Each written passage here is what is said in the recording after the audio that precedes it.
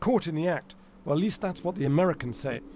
This is aerial surveillance footage that the US says shows that white boat there, an Iranian Revolutionary Guards Corps patrol craft, right up next to the hull of one of the two tankers. This is the Japanese one that was hit by explosions, mysterious explosions, in the Gulf of Oman.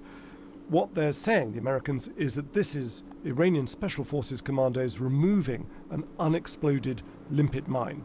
And they've also actually released a, a photograph here where you can see on the left it shows a hole in the side of this tanker, and on the right, what the Americans say is an unexploded limpet mine. Now, the Iranians, from their side, they don't deny that something has taken place, some kind of an attack, but they're saying they didn't do it. This has really turned into pretty much a propaganda war between Iran and the US. Now, all of this comes just one month after there was an earlier attack just offshore in the Gulf where four tankers got hit.